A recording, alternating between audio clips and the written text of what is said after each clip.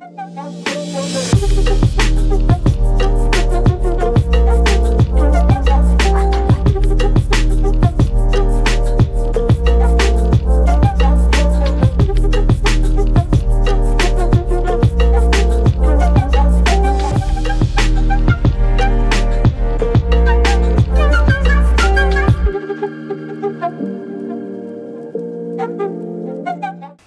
Video geben wir dir einen Überblick über die kanarische Insel Teneriffa. Von den drei kanarischen Inseln, die wir bereist haben, war Teneriffa für uns die allerschönste, weil sie einfach extrem vielfältig ist. Und diese Vielfalt wirst du jetzt auch gleich sehen bei den Highlights. Ich blende gleich eine Karte ein, auf der ich alle Orte markiert habe, die wir besonders schön fanden und dann zeige ich genau, welche Orte wir da besichtigt haben.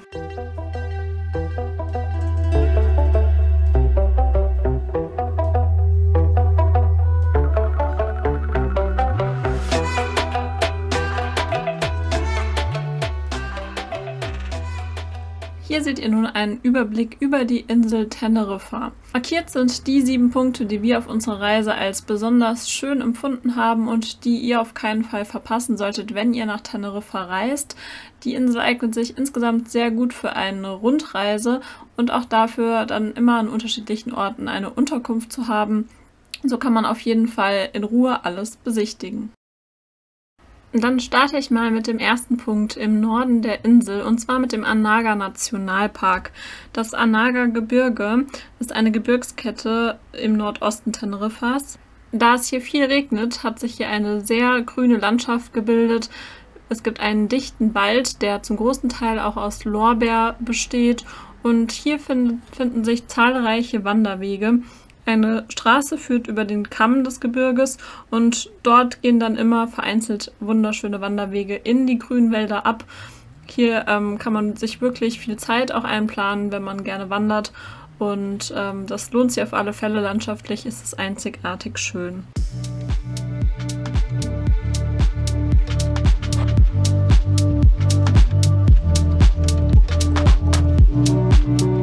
Außerdem lohnt es sich auch, runter an die Küste zu fahren vom Anaga Nationalpark aus, denn dort liegt auch schon der zweite Punkt, den ihr aus unserer Sicht auf keinen Fall verpassen solltet, und zwar Rock de las Bodegas. Die atemberaubenden Steilküstenabschnitte hier sind ein wunderschönes Naturschauspiel und diese steil, steilen und felsig abfallende Nordküste Teneriffas ist auch ein beliebtes Fotomotiv. Hier lohnt es sich, zum Beispiel den Sonnenuntergang anzuschauen, aber auch im Sommer kann man hier super baden gehen.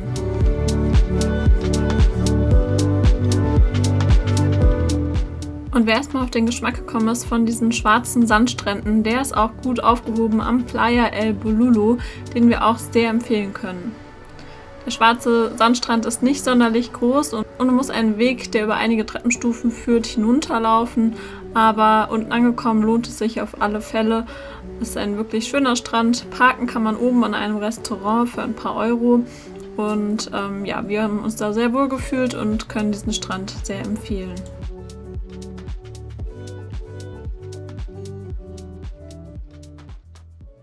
Das nächste Highlight, das man auf keinen Fall verpassen sollte und auch das bekannteste Highlight der Insel, ist der Teide Nationalpark. Insbesondere der Pico del Teide, die höchste Erhebung der auf den Kanarischen Inseln, auf der Insel Teneriffa. Und dieser Nationalpark ist wirklich sehr, sehr schön. Es gibt hier tolle Straßen, die durch den Park führen, ähm, die auch ständig in der Landschaft wechseln. Zuerst durch grüne Tannenwälder und später dann durch Geröllwüsten in der Vulkanlandschaft. Ist wirklich sehr beeindruckend und man kann auch immer wieder halten und hat tolle Ausblicke auch in die Ebene von Teneriffa. Außerdem ist es auch theoretisch möglich, auf den Teide eine Gipfelbesteigung zu machen. Dafür ist es aber notwendig, im Voraus eine Genehmigung einzuholen. Um die Genehmigung sollte man sich frühzeitig kümmern. Die ist oft bis zu zwei Monate im Voraus ausgebucht, denn es dürfen täglich nur 200 Personen hoch zum Krater. Dabei ist es auch nicht von Bedeutung, ob ihr hoch wandert oder mit der Seilbahn hochfahrt. In jedem Fall müsst ihr die Genehmigung vorzeigen. Aber auch so kann man einige Wanderungen hier im Gebiet machen und das lohnt sich auch auf alle Fälle. Bei klarer Sicht hat man auch Blick bis auf die Küste von Teneriffa Ein weiteres Highlight der Insel sind die Los Gigantes. Es ist ein Ort im Westen von Teneriffa gelegen und besonders spektakulär sind hier die Felsen, die an dieser Stelle bis zu 450 Meter senkrecht ins Meer abfallen. Hier gibt es einen kleinen Strand, an den man gehen kann und von dem man einen tollen Blick auf diese Steilkante hat.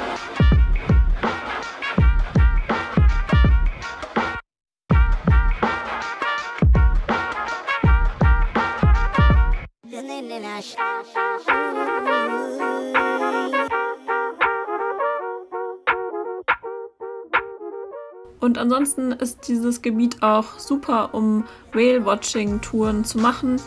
Das haben wir auch gemacht und können wir sehr empfehlen. Dabei haben wir insbesondere sehr viele Delfine gesehen und je nach Jahreszeit kann man hier eben auch Wale entdecken.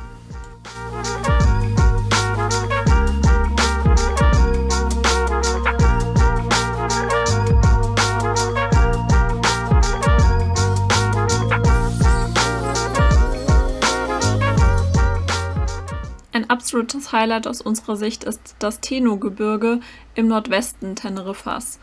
Auch wenn es sich hier wieder um ein Gebirge handelt, unterscheidet es sich extrem vom Anaga-Gebirge und vom Teide-Nationalpark.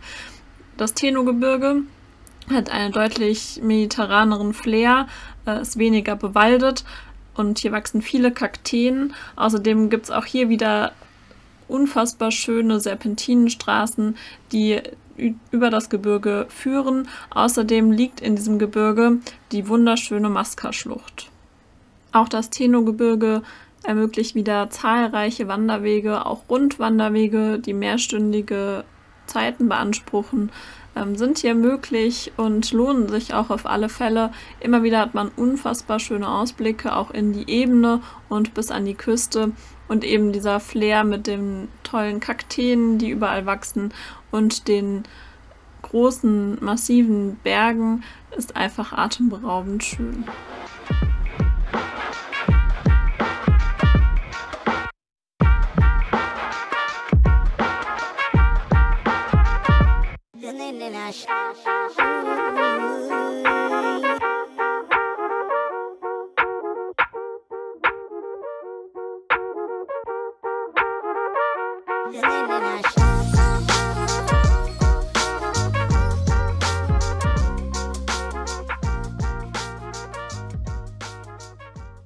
Wer den Ort Masca besuchen möchte und dann eine Wanderung durch die Masca-Schlucht plant, sollte beachten, dass seit 2022 die Schlucht nur noch am Wochenende begehbar ist und zusätzlich die Anzahl der Besucher begrenzt wurde.